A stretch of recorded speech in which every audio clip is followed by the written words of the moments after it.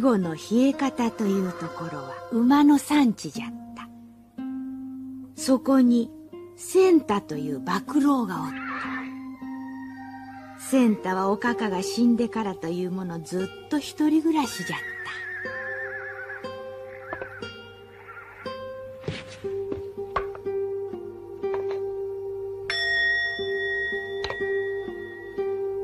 おかか。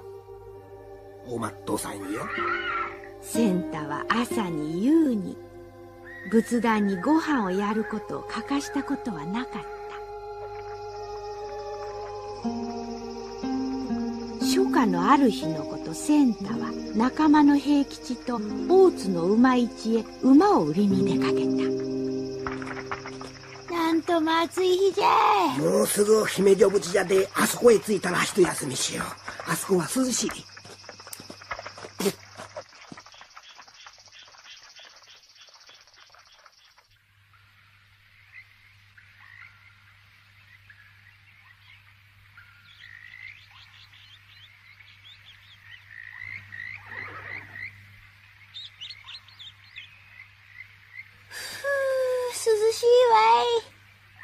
ここはいつ来ても気味が悪いの。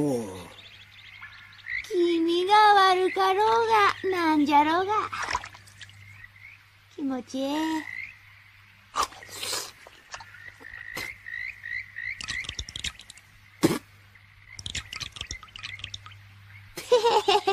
おめもやれやええ気持ちだで。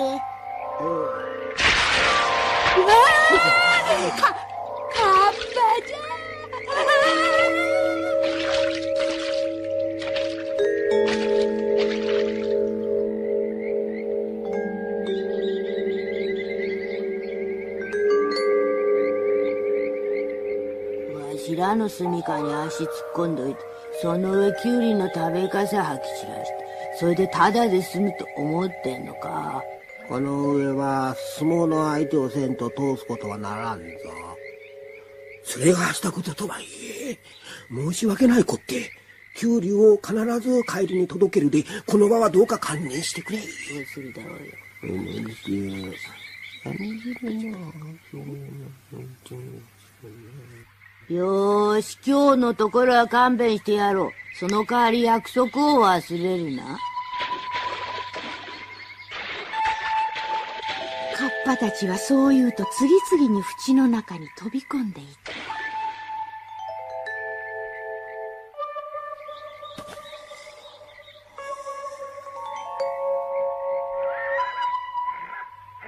その日、大津の馬市でセンタの馬も平吉の馬も高い値段で売れた。ほれ、センター祝い酒じゃ飲めや。カカが死んでから酒を断っとるで。そう、固いこと言わんで、ほれ、飲めや。平吉、ええ加減にしとけ、はよ帰らんと日が暮れる。やんで、久しぶりの酒じゃ。今日はとことん飲むぞ。お前先に帰っとれ。しょうがないやつじゃ。それじゃあわしは先に帰るで。キュウリだけは忘れずに届けとけよ。わしも届けとくれ。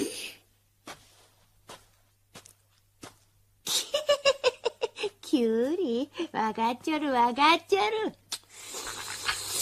あう。よたよた。キュウリはなんじゃい？カッパがどうした？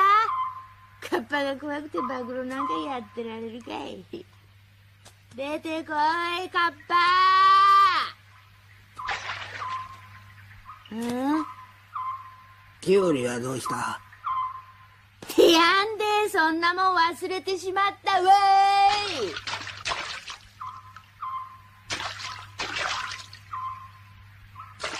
いなんじゃい、そろそろ出てきやがって。俺と相撲取ろうってのか？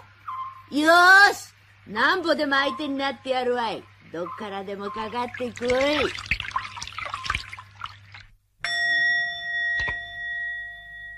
おかか、今日はおかげで馬も高い値段で売れて、しばらくは楽ができそうじゃ。はどうしたじゃ？どうしたじゃ？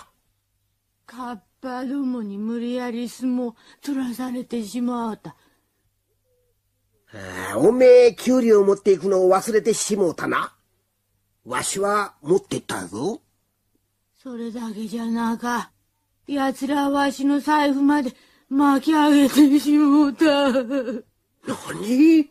馬を売った金までも？それは、ちょっとひどか。馬はわしらが長い年月をかけて育て上げたものじゃ。センタは何を思ったか。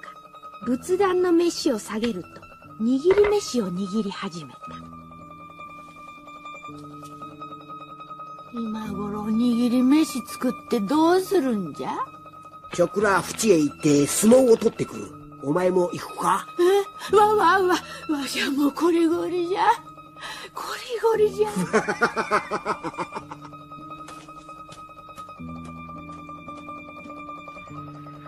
こりゃあ、カッパども出てこい。いくらなんでもいたずらがひどすぎるぞ。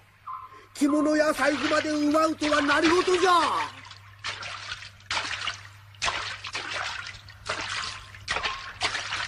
相撲に勝ったら返してやる。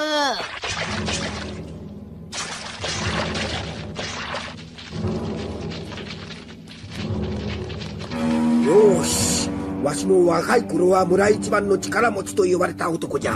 ちと手強いぞ。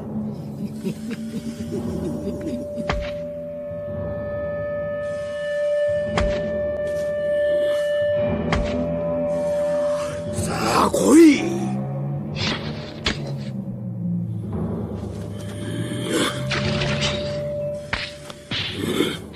さてこうして相撲が始まった。ら一匹投げ飛ばせば次の二匹が水の中から上がってくるという具合でいくら投げ飛ばしてもキリがないのじゃ。ったこりゃあしもうたこのままじゃ疲れ切って死んでしまうぞ。カッパと相撲を取って死んだんじゃおかかに申し訳が立たん。そんなことえながら飛び続けるうち腹が減ってどうしようもなくなってきた。ああちょっと待った。腹が減ってどうしようもない。弁当の握り飯を食うでお前らも何か食べたらどうじゃ？わしら何も食わんでも23日は取り続けられるんじゃよ。お前らとは体の出来が違うわい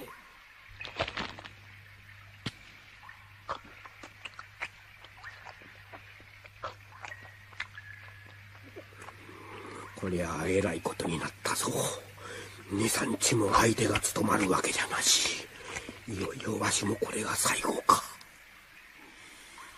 ところが食べ終わった途端体中にもりもりと力が湧いてきた。これは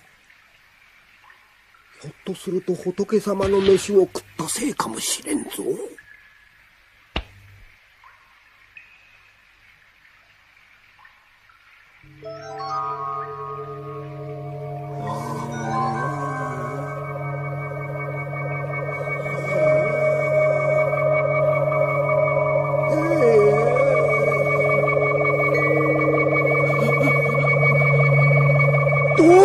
いたずらカッパどもめ。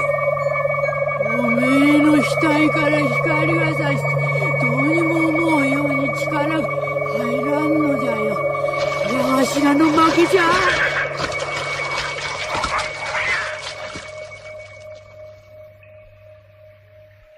センタはどうしてカッパたちが逃げ出していくのかさっぱりわけがわからんかった。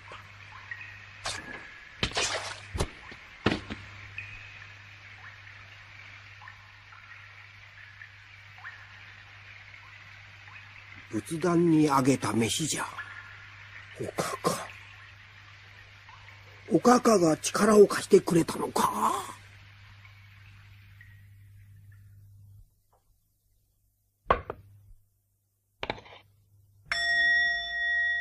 おめえのおかげでわしは助けられたんじゃよ。ありがとうよ。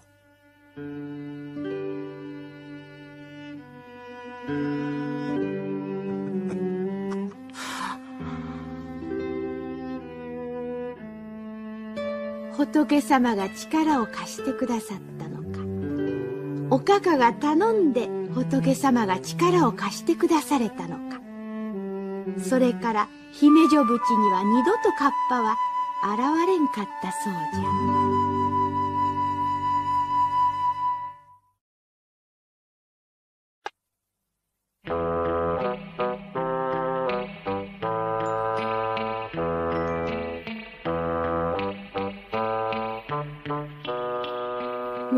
昔奈良のほど近くに大きな醤油屋があっ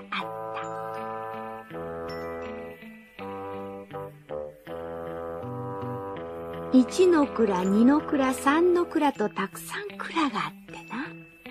中には家ほどもある桶がぎっしりじゃ。この桶の中では醤油の元になるもろみがぶつぶつ泡立ちながら醤油になる日を待っておった。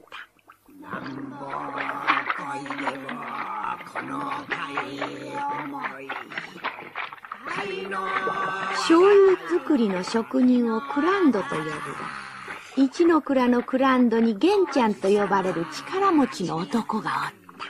山にかかる。わしの仕事はまだ残る。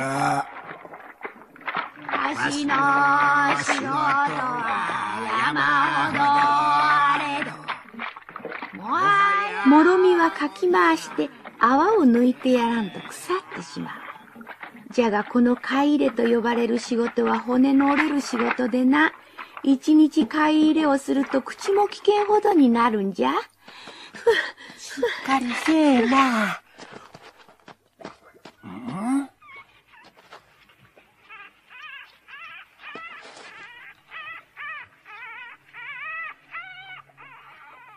野良犬が子供でも産んだんかな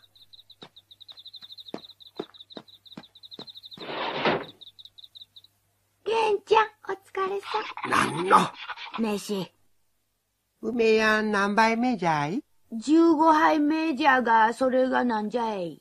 いやそんなに食うて大丈夫かと。うるさいわよ。お前は何かこのわしに、もう食うなと言うとるんか？いい、いや、ただその梅やん、ちっとは年のことも考えた方が、な。やかましいわい。まだ若いもんに負けやせんのじゃい。玄ちゃん、さっきから何やっとるんじゃい？足元の方でごそごそと。いや、何にも。うーん、もっと食えるぞ、わしゃ。わかったわかった。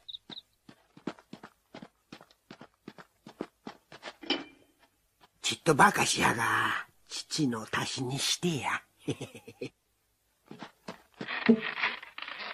こなら、梅屋にすけやんちっと行ってくるで、あとよろしゅう。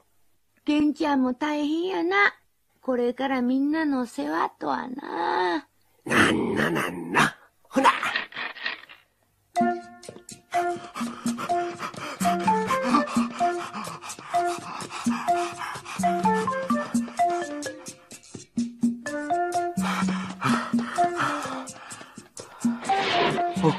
か、今戻ったで。お腹大きい上に具合悪いんや横になっとってくれ。なあ、はよ治って丈夫な子を産んでくれや。あんた。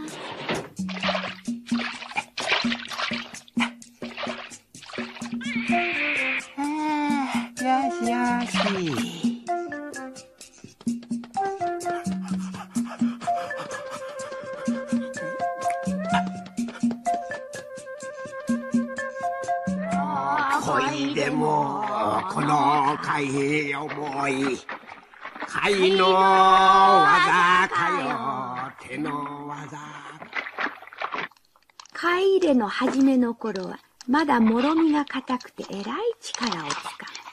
そこで蔵の旦那もエビの天ぷらなど精のつくもんを出すんやが、玄ちゃんは食べやせんかった。元気な子を育てや。何しとるんや、玄ちゃん。野良犬でもおるんか？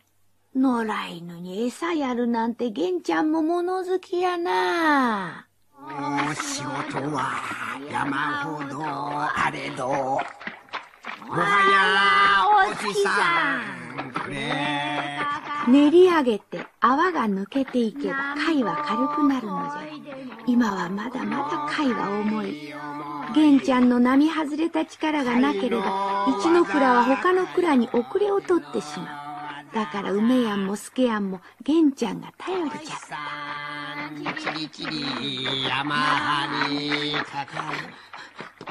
父ちゃんどうした？母ちゃんがうなり出した玄ちゃんすぐ行ってやれ。じゃが、もろみはまだ硬いし、わしが抜けたんでは。うーん、なになに、わしはまだ若いもんに分けやせんのじゃい。すまん。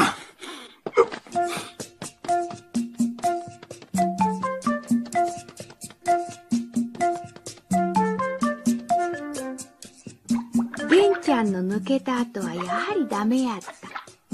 梅やん、すけやんの力では泡はよう抜けんのじゃ。他の蔵ではもうクランドたちが飯も済ませ、そろそろ一風呂浴びようかというのに、一の蔵ではそれどころやない。泡が抜けねばもろみは腐る。梅やんとすけやんは焦った。もうあかん。梅やんとすけやんは飯も食わんと布団にへたばり込んだのはもう夜中を過ぎた頃じゃった。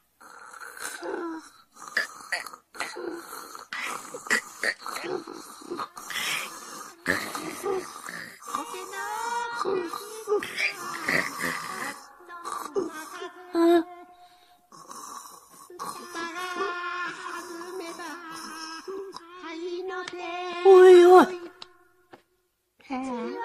か買い入れしよるぜ。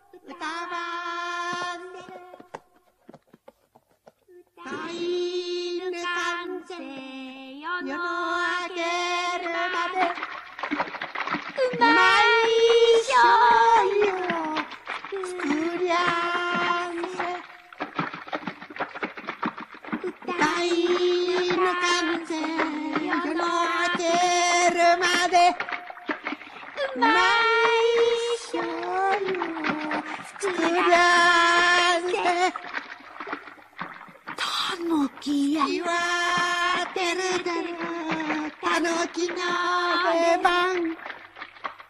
おけの影から歌任せ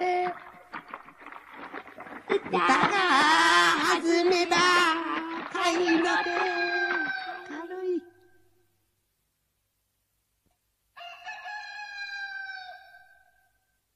おおもう朝。皆の衆船おらしたなではまた今夜。おおまた頼むわ石の蔵のもろみを腐らせては申し訳ないよってになじゃあごめんなって。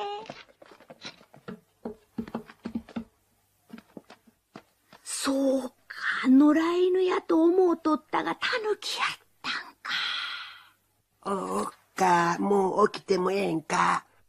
へえ、もう。そうかそうか。これも玄ちゃんのおかげや。へえ、精のつく食べ物のおかげで元気にさしてもろたし、父もよう出るし。うーんさあわしは寝るで。今夜も力仕事をせにゃならんでな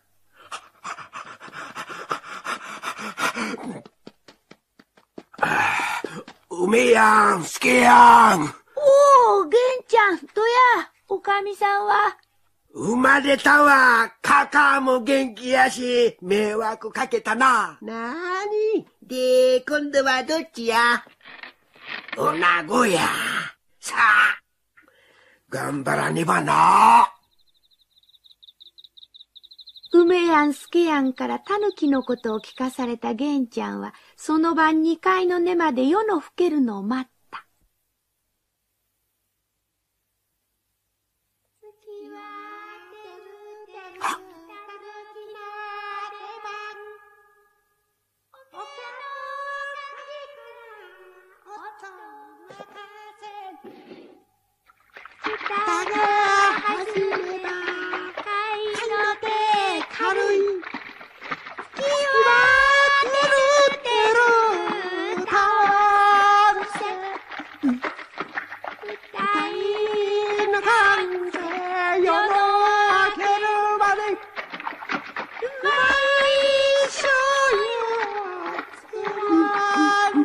なんて情けのあるやっちゃ。